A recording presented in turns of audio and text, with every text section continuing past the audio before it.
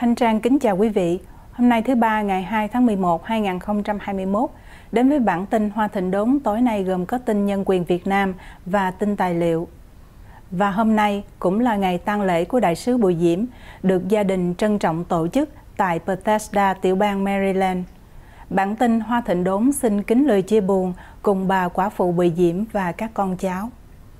Không quên kính lời cảm ơn đến gia đình về sự đóng góp chân thành của Đại sứ Bùi Diễm cho bản tin Hoa Thịnh Đốn trong nhiều năm qua. Để mở đầu Thanh Trang kính mời quý vị theo dõi tin tài liệu Tiểu sử Đại sứ Bùi Diễm, nhân vật lịch sử do Minh Thúy thực hiện.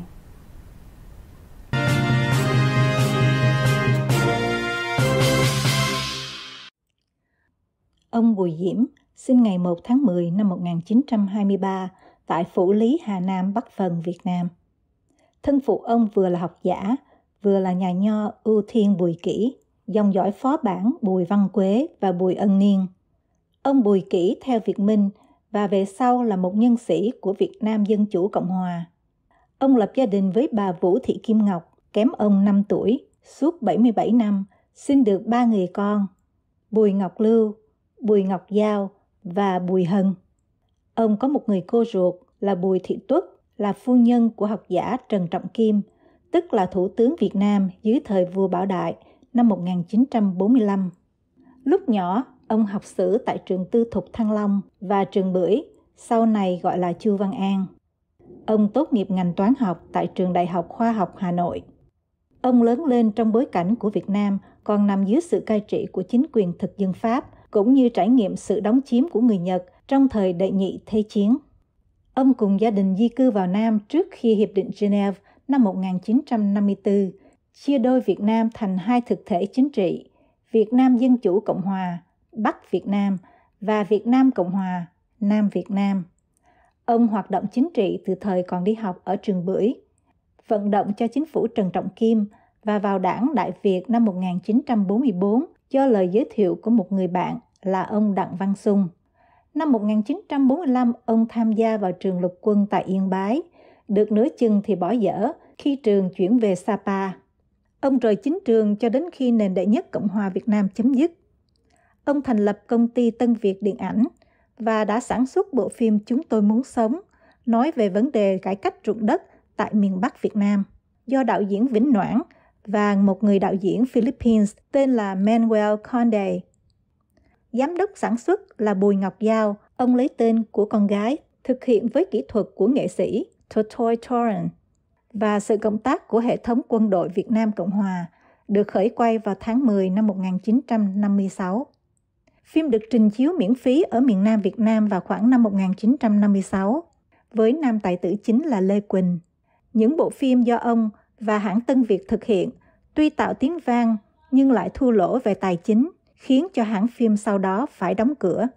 Ông cũng không còn giữ cho mình bất kỳ một tài liệu nào, ngoại trừ vài năm trước đây đạo diễn Vĩnh Noãn trước khi mất đã gửi tặng ông cuốn DVD Chúng tôi muốn sống được ai đó phát hành ngoài thị trường. Sau khi quay xong bộ phim Chúng tôi muốn sống, ông Bùi Diễm mời đạo sĩ Lê Dân thực hiện ngay cuộn phim Hồi chuông thiên mụ vào tháng 7 năm 1957 với sự diễn xuất của nam tài tử Lê Quỳnh, cùng với sự góp mặt lần đầu tiên của Kiều Trinh khi bước vào thế giới điện ảnh. Bộ phim được trình chiếu lần đầu tiên đó là ngày 8 tháng Giêng năm 1959 tại bốn rạp Nam Quang, Rạng Đông, Thanh Bình và Huỳnh Long. Năm 1963, ông thành lập tờ Sài Gòn Post, một trong những tờ báo tiếng Anh đầu tiên của nền Cộng hòa Việt Nam. Sau sự sụp đổ của chính quyền Ngô Đình Diệm vào tháng 11 năm 1963, ông Bùi Diễm trở lại chính trường vào năm 1965 làm Bộ trưởng Phủ Thủ tướng dưới thời chính phủ Phan Huy Quát. Khi Thủ tướng Phan Huy Quát ra chấp chính, ông giữ chức Bộ trưởng Phủ Thủ tướng năm 1965. Sau khi Phan Huy Quát tuyên bố từ chức ngày 11 tháng 6 năm 1965, ông nhận lời mời của Chủ tịch Ủy ban Hành pháp Trung ương Nguyễn Cao Kỳ về làm phụ tá đặc biệt, đặc trách các vấn đề kế hoạch có liên quan tới ngoại viện để tiếp tục giữ vững mối giao hảo với Hoa Kỳ. Ông lo việc xếp đặt toàn thể chương trình cuộc họp thượng đỉnh ở Honolulu Ông còn được ủy nhiệm thảo một bản diễn văn chính thức để Thủ tướng Nguyễn Cao Kỳ đọc tại hội nghị thượng đỉnh, cũng như những bài diễn văn khác cho ông Kỳ. Lúc này ông đã hoàn toàn hòa mình và làm việc với một chính phủ quân nhân và đưa ra vấn đề cần phải chuyển hướng chính phủ để dẫn đến một chính phủ dân chủ hợp hiến. Sau cuộc họp thượng đỉnh ở Honolulu vào tháng 8 năm 1966, ông càng đi sâu vào các quyết định ngoại giao. Ông được bổ nhiệm làm phụ tá ngoại trưởng kiêm phụ tá đặc biệt của thủ tướng. Và sau cuộc họp thượng đỉnh Manila, với những xích mích ngấm ngầm giữa ông với những người trong giới quân nhân đã khiến cho ông hao tổn khá nhiều tinh thần. Ông quyết định từ chức. Quyết định này của ông đã dẫn đến việc ông được bổ nhiệm làm đại sứ Việt Nam Cộng Hòa tại Hoa Kỳ, thay thế cho đại sứ Vũ Văn Thái từ năm 1967 đến năm 1972. Ông từng góp ý kiến với ông Thiệu, ông Kỳ và các tướng lãnh khác về phản ứng của Hoa Kỳ với Việt Nam. Đặc biệt vào ngày 10 tháng 3 năm 1967, ông Thiệu và ông Kỳ đã triệu tập một cuộc họp chính thức ở Dinh Độc Lập. Cuộc họp bao gồm tất cả các bộ trưởng và các tư lệnh quan trọng trong giới lãnh đạo quân sự. Ông Thiệu giới thiệu ông Bùi Diễm là một nhân vật của Hoa Thịnh Đốn. Trong suốt thời gian làm đại sứ, ông đã đem những nhận xét, hiểu biết về Hoa Kỳ đến chính quyền Nam Việt Nam. Những bản lượng định tình hình chính trị ông gửi về Sài Gòn, bao gồm tất cả những điều ông tổng kết sau những buổi thảo luận của ông cùng với các giới báo chí lẫn chính quyền Hoa Kỳ. Ông đưa ra cả những suy luận cùng những suy luận của nhiều nhân vật cao cấp khác trong giới quân sự Hoa Kỳ, trình bày những điểm đặc biệt của chính trị Hoa Kỳ đến Tổng thống Nguyễn Văn Thiệu và Phó Tổng thống Nguyễn Cao Kỳ. Tháng 5 năm 1972, ông từ chức đại sứ Việt Nam tại Hoa Thịnh Đốn, quay về Sài Gòn sau một chuyến du ngoạn dài 2 tháng ở châu Âu. Sau Hiệp định Ba Lê, Tổng thống Nguyễn Văn Thiệu đặt trách ông làm đặc sứ. Ông được gửi đi nhiều công tác khác nhau ở châu Á, châu Âu và Hoa Kỳ. Và ông cho rằng việc ông có thể gặp gỡ Tổng thống Nguyễn Văn Thiệu cũng là dịp tốt để cho ông có thể đóng góp ý kiến phần nào vào việc xây dựng quốc gia.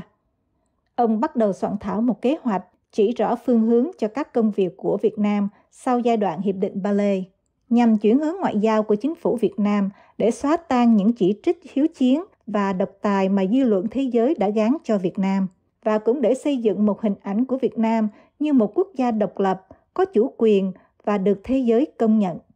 Từ năm 1973 cho đến năm 1974, ông thường xuyên đến Hoa Kỳ, theo dõi các diễn biến ở Hoa Thịnh Đốn và làm việc cho tất cả mọi việc có thể làm được để giữ viện trợ khỏi bị cắt bỏ.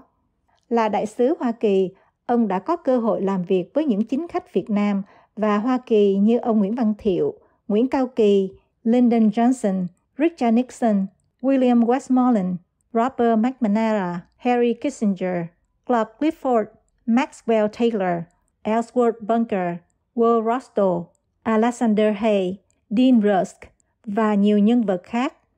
Ông cũng chứng kiến sự nổi dậy của phong trào phản chiến tại Hoa Kỳ, cuộc đàm phán hòa bình tại Paris và góp phần vào việc vận động cuối cùng để tìm 700 triệu Mỹ Kim viện trợ quân sự để miền Nam Việt Nam có phương tiện chống lại cuộc xâm lăng của quân đội Bắc Việt. Tuy nhiên, cuối cùng số tiền của Hoa Kỳ có thể viện trợ cho Việt Nam là 400 triệu Mỹ Kim. Sau 30 tháng 4 năm 1975, cựu đại sứ Bùi Diễm cùng gia đình tị nạn và định cư tại Hoa Kỳ. Ở Hoa Kỳ, ông đã từng làm việc tại Trung tâm Nghiên cứu Học thuật Quốc tế Woodrow Wilson, Viện Doanh nghiệp Hoa Kỳ American Enterprise Institute, cũng như Viện Nghiên cứu Đông Dương tại Đại học George Mason.